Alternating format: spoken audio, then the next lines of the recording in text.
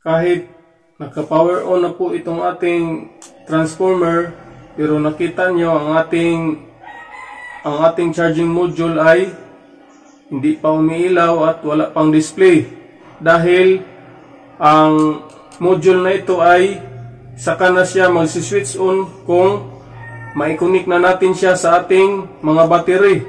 So kapag nagcha-charge kayo ng fully drain na battery na wala na talagang voltaheng natira, hindi gagana ang module na ito. Hindi mag-switch on ang kanyang relay dahil wala pong mag susupply para mag-trigger ang ating relay. Nag, nag-display na ang ating module ng 10.2 volt DC at hindi pa umilaw ang kanyang LED. Ibig sabihin, hindi pa nag-switch on ang ating relay.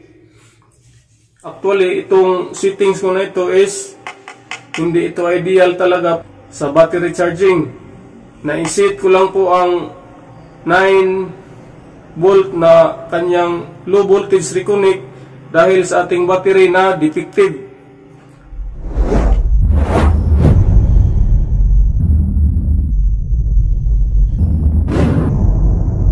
Hello, kumusta po ang lahat? Welcome back to my munting channel na naman po. Ngayon ay may ipa-fire test tayo na isang module. So ito po yung battery charger na dati ko nang na-post pero noon wala pa siyang auto cut off module. So bali ito na po ang ating order sa online shop na battery charger control module para sa auto cut off sa ating charging system. So bali ang model po nito is XHM604. May apat po siya na terminal. Ito po Itong dalawang to galing sa input or galing sa ating mga battery charger. Yan. Itong wire na ito is positive. Galing din yan sa positive ng ating rectifier diode. At ito naman ang negative ng ating rectifier diode papunta dito sa negative ng kanyang input. At ito naman ang papunta sa ating battery. Negative din po ito. Yan, papunta dito sa ating terminal block para na sa ating alligator clip wires. At ito namang isa, simpre, para sa kanyang positives sa battery. Yan, punta yan dito. Itong kulay blue, positive to. At itong itim ay negative. Yan, papunta yan dito sa ating alligator clip. So, bali ito ang kanyang display. 3 digits display. Dito naman tayo sa kanyang dalawang buttons kung paano natin may change ang kanyang setting parameters sa high voltage disconnect at sa low voltage reconnect para mabago natin sa ating gusto ng mga settings ng mga voltahe. So, isang buttons, bali dalawa po ang kanilang function. Sa isang function, sa down po ito at ito ang sa up.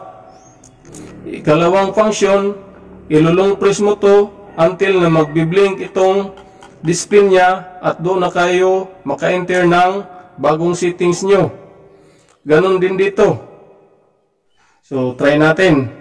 Long press natin ng isa. Bali yun po ang nasave niya na high voltage disconnect. Yan, 14.9. So, para mabago natin ang settings na ito, ilulong press natin to hanggang magbiblink po siya. Long press. Yan, nagbiblink na po siya. So, either saan kayo dito magpindot, magba mabago yung figure na yon ulit. Long press. So, yan.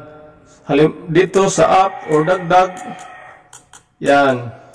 Kung nakita nyo, at dito, pababa. So, ganyan lang. Dito, pataas. Ay, pababa. So, set natin ang ating high voltage disconnect sa 14.9.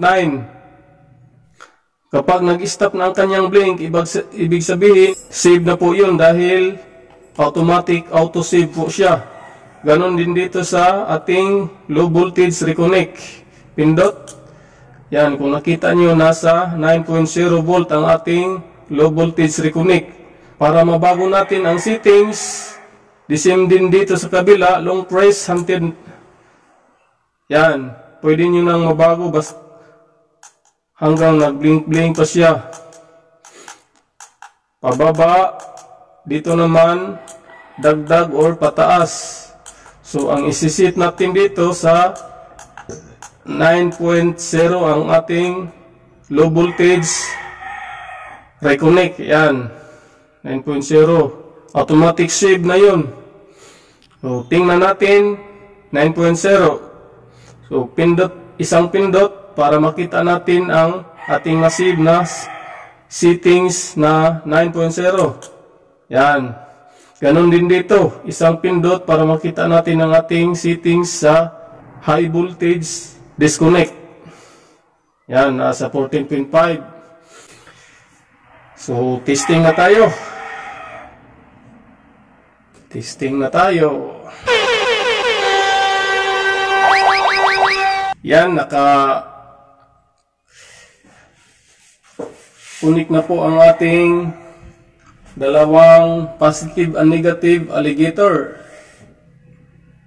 Switch on. Yan, umilaw.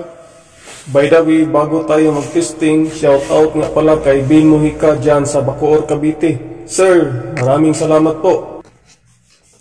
Kung nakita nyo, itong ating lead indicator ay hindi pa umiilaw. Meaning, itong ating relay ay hindi pa naka-switch on. Ang gawin natin, naghanda ako ng load na small DC motors at may nilagay ako na switch. So, bali dito yan connected sa ating positive and negative output. Nakaparallel lang yan sa ating alligator clip. Ang gawin natin para bumaba ang ating voltahe, buhayin natin tong DC motor. Tingnan nyo ang ating voltahe is nasa 11.6. Switch on. Yan. Nasa 10 volt. 9.7, 9.5. Oh, yun. So, yun na po yun. Gumana siya. Sa gusto natin na setting ulit. Buhayin ko ang DC motors. Tingnan ang display. Pag umabot yan ng 9.0, magpipitik ang ating relay at umilaw itong lead. 9.4, 9.3, yun! Ayos!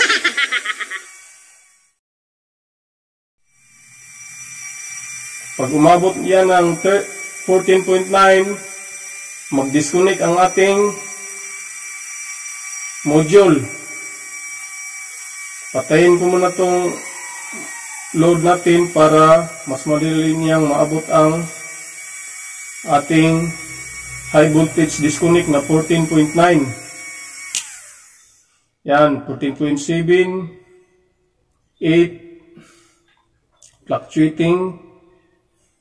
Tingnan nyo pag umabot yan ng 14.9 pipitik ang relay mamatay ang pula na lead Yan. As you can see, nag-switch off ang ating relay, namatay ang ating lead indicator, stop charging na po siya, papunta dito sa ating battery. So yun po ang tinatawag na auto cut off na po siya. Depende na po yan sa inyong setting at sa mga battery na inyong i-charge kung ito'y flooded battery or mga car battery at itong ating battery ngayon is cell lead acid sa mga lithium ion, hindi to advisable na ganitong charger ang gagamitin. Nakita natin as per testing, working naman po ang module na ito as intended. So, accurate ang kaniyang reconnect and disconnect. So, reliable po ang module na ito. Ang tanong lang kung tumagal ba siya? Gaano siya ka tibay?